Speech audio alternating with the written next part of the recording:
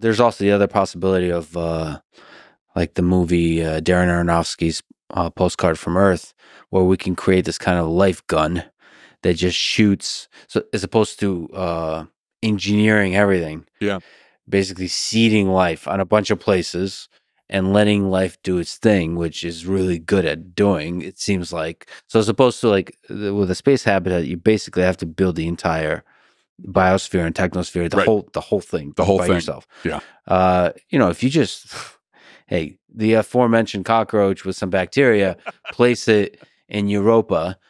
Uh, I think you'd be surprised what happens. Yeah, Right. yeah. Like honestly, if you put a huge amount of bacteria, like a giant number of organisms from Earth into uh, on Mars, on uh, some of these moons of the other planets in the solar system, do you think like I, I feel like some of them would actually find a way to survive? I, you know, the moon is hard because the moon is just like there's no, you know, the moon may be really hard, but you know that'd be. I mean, I wonder somebody must have done these experiments, right? Like how? Because we know there are extremophiles, right? We know that there you can go down, you know.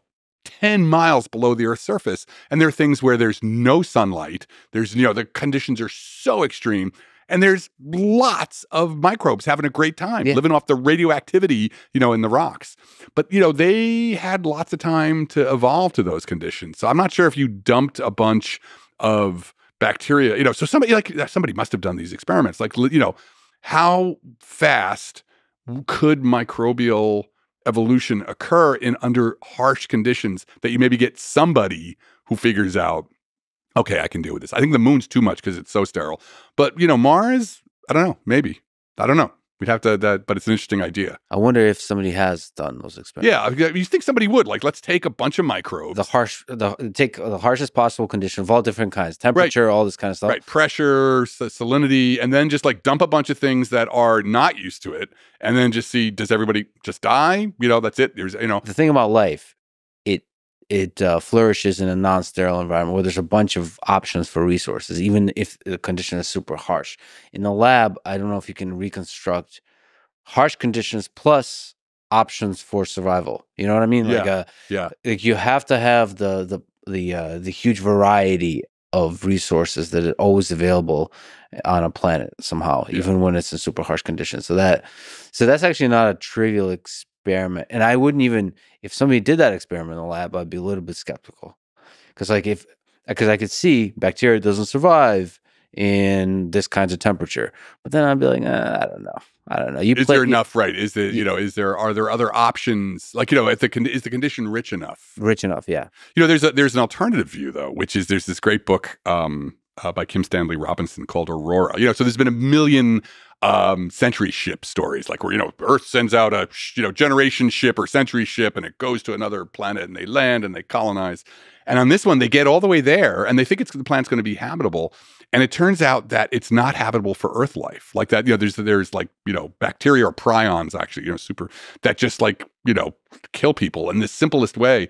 Um, and the, his, the important thing about this book was the idea that like you know life is actually very tied to its planet. Mhm. It may not be so easy. I just thought it was a really interesting idea. I'm not necessarily supporting it, but that actually life reflects the planetary conditions. That not the planetary, the planet itself, the whole lineage, the whole history of the biosphere. And it may not be so easy to to to just sort of be like, oh, just drop it over here and it'll, you know, because the bacteria, even though they're individual examples of life, and I kind of believe this, the true unit of life, it's not DNA, it's not a cell, it's the biosphere, it's the whole, The whole community. Yeah.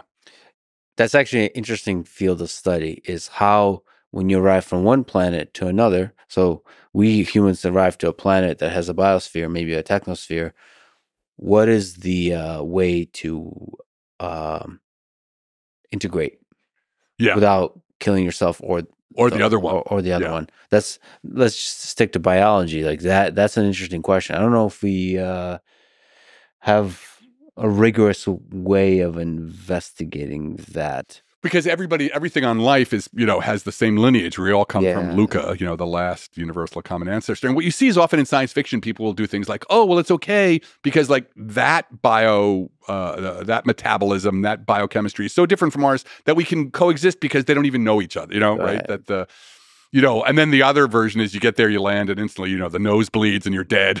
Right? So it's Unfortunately, I think it's the latter. Yeah, it is- sort of feels is- like is feels the like more a very likely alien kind of thing.